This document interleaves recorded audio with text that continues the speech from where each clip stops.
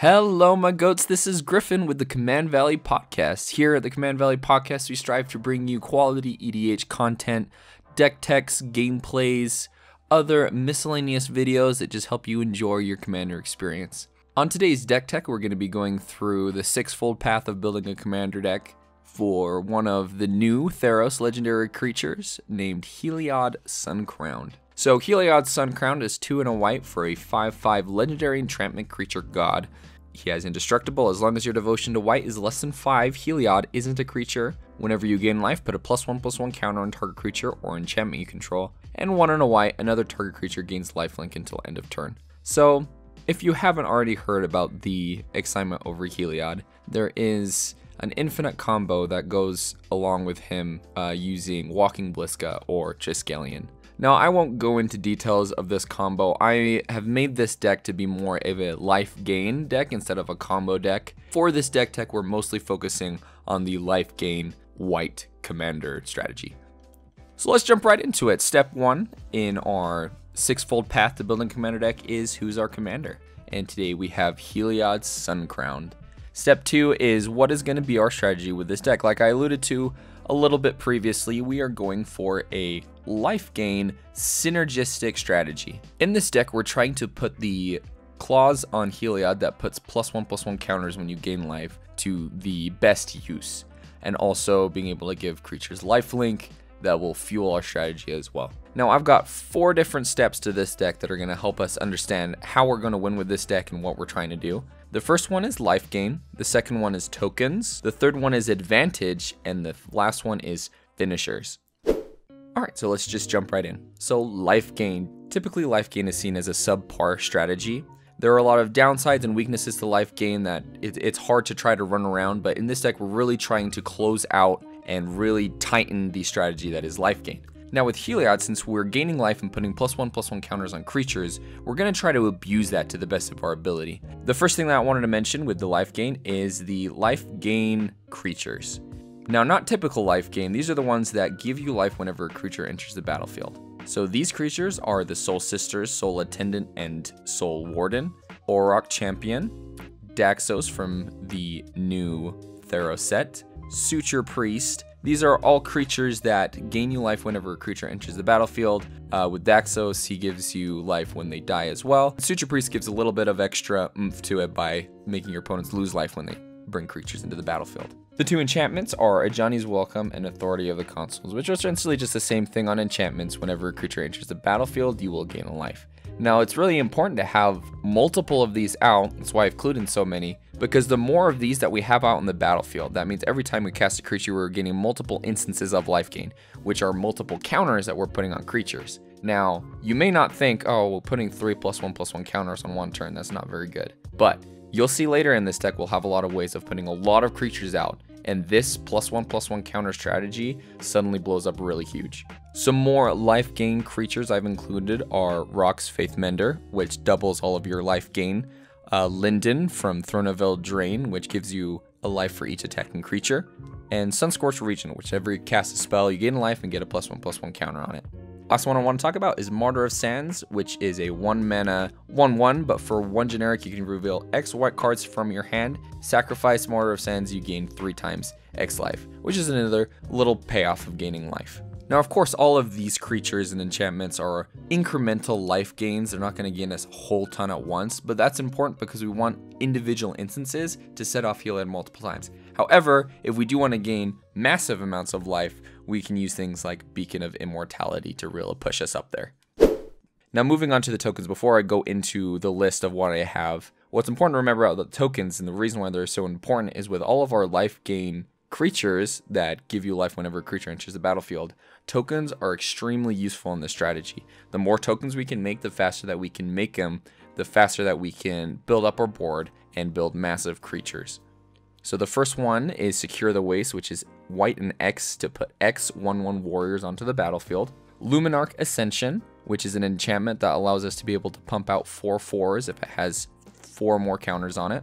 Hallowed Spirit Keeper, which gives us creatures when it dies, counting the number of creatures in our graveyard. Entreat the Angels, which is our Miracle card, which allows us to put massive amounts of 4-4 White Angels creatures token onto the battlefield with Vigilance. Crested Sunmare, which goes really well in our deck. A horse that at the beginning of our end step, if we have gained life this turn, we create a 5-5 horse with indestructible because of Crested Sunmare. Super good because we're getting lots of life. Deploy to the front, which is 5 white white for a sorcery, put X 1 1 white soldier creature tokens onto the battlefield, where X is the number of creatures on the battlefield. Now, this may seem pretty expensive, but that effect is going to be incredible when we have lots of creatures out. Now in this deck, we're also going to want little bits of token making simply because we want to get out there early. So we have Spectral Procession, Captain's Call as a couple of our quick token makers. And lastly, I wanted to include Oketra uh, from War of the Spark, which allows us to create 4-4 zombies whenever we're casting creatures, and Darien King of Kjeldor, which gives us creatures when we take damage. Lastly, or finale, we have Finale of Glory, which is a sorcery for white white X. We can create X 2 2 white soldier creature tokens with vigilance. If X is 10 or more, also create X 4 4 white angel creature tokens with flying and vigilance. Now again, just wanted to reiterate how important these two sections are. This is going to be the main focus of our deck. With Heliod out and our Soul Sister type effects on the battlefield, making tokens repetitively, making lots of tokens, even small tokens, means we can build our board very quickly, build them up very powerful, and even give them lifelink to gain more life this is going to be the focus of this deck is to really kind of pump out lots of creatures make them huge and then just beat down our opponents but of course, we do have two more sections in here. The next one is advantage. And what I mean by advantage is the life gain and the tokens themselves. While we may draw a God Hand and just draw really well and be able to pump those up as fast as we can, we're probably going to want some things to help that strategy a little bit more, just kind of push it up on a higher notch. So the cards I've included in here, the first one I've included is Archangel of Thune, which is our classic Archangel. Whenever we gain life, put a plus one, plus one counter on each creature we control. Amazing. The next one I want to talk about is Elesh Norn, just a fantastic, although very expensive, pump that also reduces our opponent's power as well. Resplendent Angel, which is an angel that allows us to be able to make tokens if we gained enough life. Two all-stars in this deck, Abzan Battle Priest. For three and a white, we have a 3-2 human cleric that you can outlast, and also says each creature you control, the plus one plus one counter on it, has lifelink. Just adding a little bit more lifelink in there. Another one is Abzan Falconer, which is two and a white for a 2-3 human soldier with outlast. Each creature you control with a plus one plus one counter on it has flying. Serra Avatar, which is just a 7 mana massive creature, which power and toughness is equal to our life total, which I guarantee is going to be massive at all times. So giving this guy lifelink, that's how we're going to be doubling our life total. Mikaeus the Hollowed, which has plus 1 plus 1 counter synergies and allows us to be able to put a plus 1 plus 1 counter on each other creature we control. Animation Module, which is a really good 1 mana artifact that's going to allow us to be able to put servos onto the battlefield, gain a life, pay one, make another servo, gain a life, and just keep this going for as much mana as we have. And then we have our enchantments, Anointed Procession, 3 and a white. If a token would enter the battlefield, you create double that amount instead. Divine Visitation, if you would create a token, instead you create a 4-4 white angel creature token with vigilance and flying. Angelic Accord, if you have gained 4 more life, at the end of your turn you create a 4-4 angel with flying and vigilance. True Conviction, which gives all of our creatures lifelink and double strike. And my personal favorite, Cathars Crusade, which whenever a creature enters the battlefield, it puts a plus one plus one counter on each creature. Now lastly, before we move on to the finishers, I wanted to quickly mention proliferating. Now I didn't include too many proliferate spells into this deck simply because I wanted to include more slots in for life gain and token making.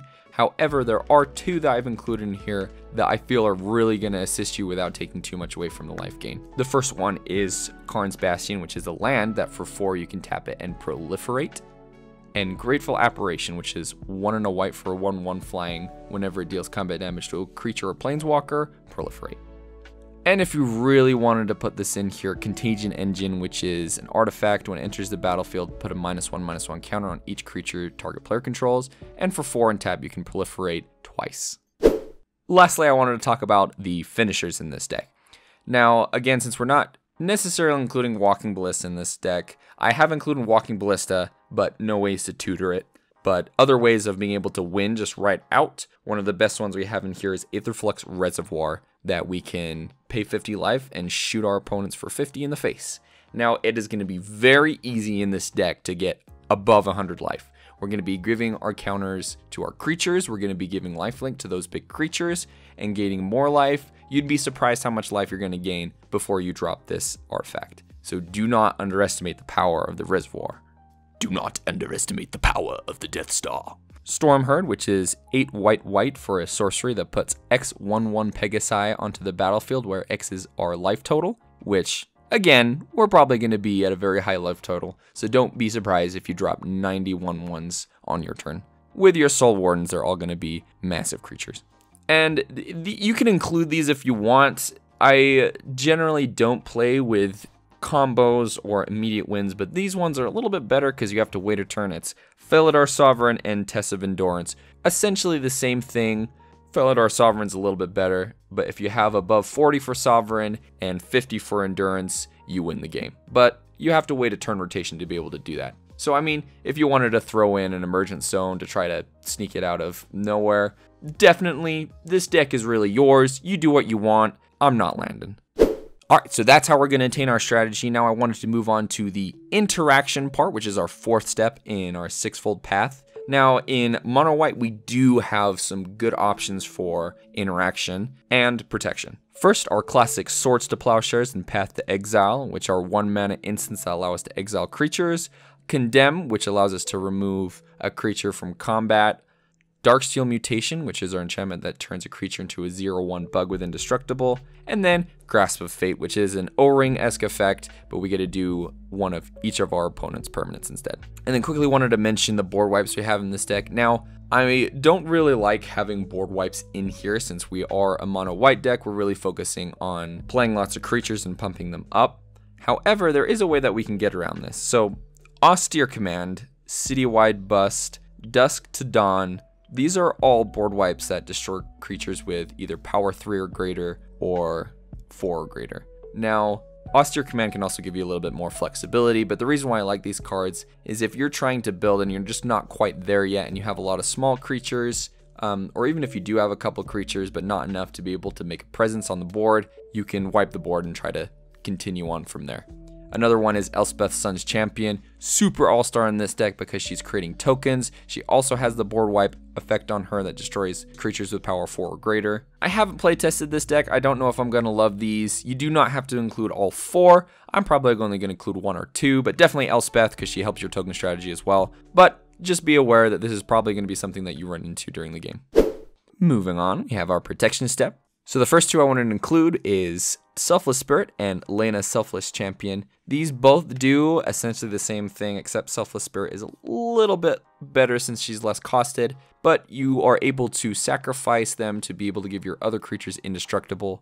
Lena Selfless Champion has the text that they do have to have power less than Lena, but she also gives you creatures when she enters the battlefield. Next we have Teferi's Protection, which is another all-star white card, which allows us to be able to phase out at instant speed. Now this card is very expensive, this is probably something you can cut if you don't have the money for it, but if you have one laying around that you want to use in your mono white deck, then definitely throw it in there. And then I want to include the instant indestructible spells like Unbreakable Formation, Make a Stand, and Rootborn Defenses. These all have a little bit of extra text on them, but essentially we're caring about them giving our creatures indestructible. It's going to be very pertinent to our opponents that board wipe is going to hurt us very badly. But one of the ways that we can avoid that is by including instant spells that gives our creatures indestructible. Real quick before we move on to the last step of building a commander deck, which is our reflection, I want to include the ramp and the card draw in this deck, because I'm sure you're wondering, Griffin, mono white is the worst color. How, how are you even going to ramp? First off on the ramp, we have our Theros themed ramp with Nykthos Shrine to Nyx and Nyx Lotus, which allow us to ramp with our devotion. Since we're in a mono white deck, or even in any monocolor deck, this is going to help us out a lot. Marble Diamond, which is an artifact that taps for a white. Sol Ring and Thran Dynamo as our artifacts along with Gilded Lotus. Knight of the White Orchid, which is a 2 mana creature that when it enters the battlefield, we can search for lands and put them onto the battlefield tapped if our opponents have more lands than us, which is a majority of the time. And also Boreas Charger, which does the same thing.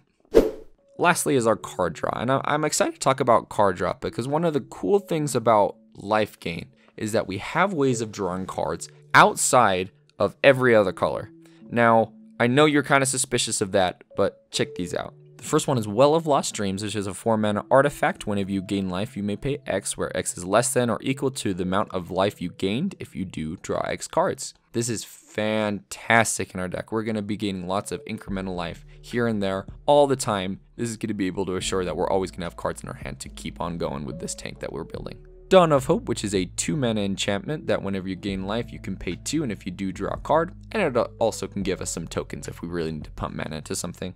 We have Azor's Gateway, which is kind of card draw and also kind of mana ramp if we can get there. For 2 mana, we have an artifact. For 1 and tap, you can draw a card and exile a card underneath Azor's Gateway. Then, if you earn 5 different cards with different converted mana costs underneath Azor's Gateway, you flip it and it is a land that taps for your life total, which is going to be amazing in this deck. Now, these two are pretty funky. They are Etched Oracle and Mindless Automaton. Now, the reason why I want to include this is because if you really dig deep into how they work, with Heliod, we can be able to put lots of plus one plus counters on these creatures and then be able to pay mana to remove them to be able to draw cards. This is going to be extremely good in our deck because we're making lots of plus one plus one counters. We can put them onto these artifacts and just constantly get rid of them to be able to draw more cards to fuel our deck. We have our classic skull clamp that we can attach onto our creatures, and if they die, we draw two cards. Now, a lot of our creatures are going to be 1-1s anyway, so that little tack that gives them plus 1, minus 1 is going to be coming to our advantage.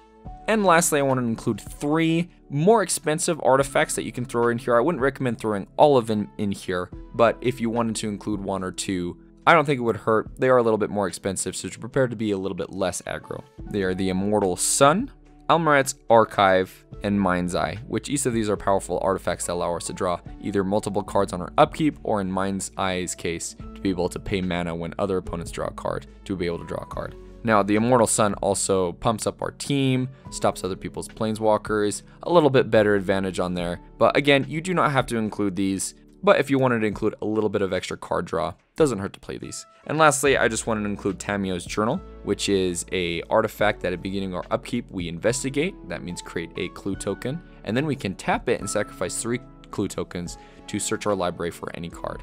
This is going to be really cool during this game because this is an underrated card. A lot of people miss it, and we're going to be able to tutor for the thing that we're going to need at the time.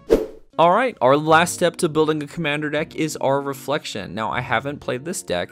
However, I did want to include some thoughts that I've put into this deck. Number one is how are we going to play this deck? Since we are playing mono white, one of the most important things this deck is we struggle to ramp and we struggle to card draw. One of the ways to be able to play around that is only play as much as you need to. Now this is a problem I've seen amongst many new players, is that they play all the cards in their hand and they have such a big advantage over the table, but if there's any board wipe, if there's any removal, if there's any interaction at all with your board and you lose it, you have no cards in hand, you have no card draw, you have no way of getting there. That is the worst place to be. My recommendation for this is to only play what you need to you only want to either be a little bit ahead or a little bit behind, knowing that you can get a little bit ahead. If you don't need to play your whole hand, if you don't need to play things that create you more tokens if you're already ahead, save it when you need it. One of the most important things to remember is that people will see what you're doing, and if you're too ahead, they will stop you. So make sure that you save your card draw,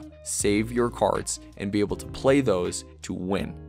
So two cards that I was going to include in here, but after reflecting, I decided to take them out. The first one is Avacyn Angel of Hope, which is an 8-8 flying angel with vigilance that gives it and all other other permanents indestructible. And then also Sephara Sky's Blade, which gives other creatures we control indestructible.